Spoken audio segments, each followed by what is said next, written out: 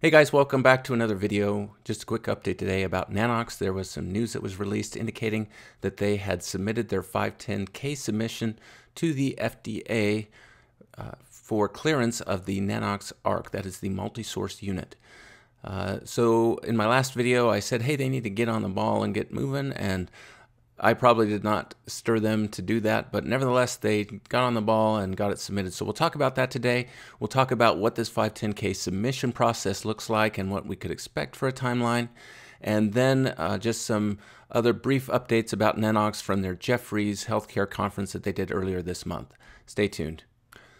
All right, the 510K submission. What took so long? Looking for a predicate device. And what is a predicate device? That is a medical device that has already been cleared by the FDA, which is substantially equivalent to the product that is being submitted for a new 510K clearance. That took Nanox a long time. We don't actually know what the predicate device was that was selected. Nevertheless, they found one and they have submitted that today, June 17th. What will happen now with this process? The FDA has a very nice website which outlines the 510K clearance process. We're going to run down to a graphic that we'll use as a template for this discussion. So, day one of this process starts when the FDA receives the 510K submission. The FDA will then have seven days to provide an acknowledgement letter. All this says is, hey, we've received your 510K submission, essentially or potentially they could put it on hold if there are unresolved issues, such as uh, no user fee or there's no electronic copy. After that, then, hopefully within 15 days, the FDA will complete their acceptance review. Now, this is just simply run by a checklist, and it really is just a checklist. This is the document that they use. The purpose of the document states that it is to explain the procedures and criteria that the FDA intends to use in assessing whether a pre market notification submission meets a minimum threshold of acceptability. This is just the submission, the paperwork end of it, essentially. They do review the uh, device that's being submitted to make sure it's being submitted under the proper device category, etc. Going further down in the document, it states the purpose is to assess whether a submission is administratively complete and that it includes all of the information necessary for the FDA to conduct a substantive review. And here's just an example of that checklist, and you see that it says preliminary questions and it has a check mark, yes, no, and they run through this whole thing, which has about 43 items to check off. So the results of this acceptance review are that it's either accepted and can move on to the substantive review, or it's placed on refuse to accept hold and will indicate some reasons why it's been refused to accept, and Nanox would have to resolve those issues. Once they get past the acceptance review, then we're looking at a substantive review. The goal of that is to have that complete by day 60. The substantive review goes into far more depth. The results of that will be that there will either be an interactive review with the submitter or the lead reviewer will make a request for additional information. If that additional information request happens, the uh, 510K clearance is automatically put on hold for up to 180 days, and Nanox would have 180 days to resolve that. If they don't, then their 510K submission is considered null and void, and they would have to restart. The FDA has a goal of within 90 days making a decision that the product is either substantially equivalent or non substantially equivalent if it receives that substantially equivalent, which is off, which is abbreviated SE in their documents, then that is essentially considered cleared. What happens if this Nanox ARC does not receive the substantially equivalent uh, label?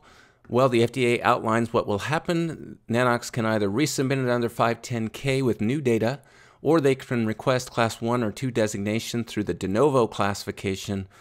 Uh, they could file a reclassification petition or they could submit a pre market approval application. Those processes take much longer, so the 510K route is definitely the quicker. Now, I gave you that timeline. That is the ideal timeline, but not necessarily the practical timeline. This data is a little bit old, but it gives a good example of how long the FDA actually takes to uh, get these items cleared. So, if we go back to 2016, we see that only 19% of 510K submissions were cleared within 90 days. 86% were cleared within nine months, and 95% were cleared within 12 months. Additionally, again from some older data, but it does help emphasize the point, these are devices based upon the type of device submitted. So we see anesthesiology took about 245 days. You can look here at the rest of them. We'll get down to the relevant one, which is radiology, and that was 112 days. So we see that 90 days really is the ideal, but we should not expect this 90 days. And uh, really, with some of the COVID slowdowns, uh, I, I think that this could easily stretch out well beyond 180 days. We're going to finish our discussion with just a quick synopsis of the Jefferies Healthcare Conference that their CEO, Rand Poliakine, made. He emphasized that the chip is the technology. Of course, the chip contains the nanocarbon tubes, and those tubes are used to uh, create electrons, which will then uh, help to create X rays. This slide here just outlines uh, some of that pathway to get to this point. This slide here also just demonstrates this path, creating the Nanox source. That's the source for uh, the electrons, which will subsequently be used uh, within the Nanox tube to create X-rays. Of course, those tubes go into their Nanox arc. This will have five of these X-ray tubes in here. And then the images that are produced by this Nanox arc will be uploaded into the Nanox cloud. This device is intended to substantially lower the existing cost of medical imaging. In fact, there are relatively few moving parts on this equipment. The patient will be positioned on this table and the Nanox arc itself will move along the table. So this is the moving uh, part along this equipment, the arc.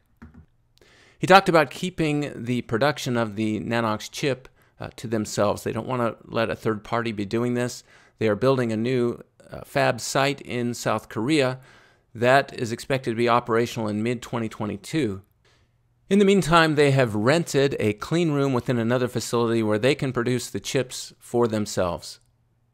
Now, as far as the X ray tubes go, they are turning that over to third party suppliers. They have both a ceramic and a glass type being produced. And at economy of scale, they're estimating that this can be done for $100 per X ray tube. As far as the Nanox Arc goes, they are producing those through a third party. They are making enough of them right now that these can start to be distributed for learning how to use the device. We'll just finish this discussion with what does the timeline look like now then for this company. I've already outlined the 510K clearance, of course. That is the rate limiting step in all of this. In the meanwhile, they're continuing their manufacturing ramp up and they will continue to build their leadership team. We're looking out to 2022 for the first shipments of the Nanox Arc uh, they're looking initially to try to get out about 5,000 of those, with 15,000 deployed worldwide by the year 2024. All right, that's it for Nanox update on June 17th. 510K submission has occurred. We will watch and see how the timeline proceeds. And we obviously know that 90 days is not practical. I'm thinking at least 180 days, although their CEO in a previous presentation did say 120 days is what he expected. Now, one thing that I didn't emphasize is that this submission was going directly to the FDA this time. Last time they used a third party reviewer uh, to try to get the Nanox cart done. And in a previous presentation, Mr. Poliakine said they're skipping the third party reviewer this time, straight to the FDA. If you enjoyed this video, please give us a thumbs up. If you didn't enjoy the video, Give us a thumbs up anyway, please. And feel free to leave some comments. I already know that there will be some, though, that will be negative, which I'm okay with, and some will be derogatory.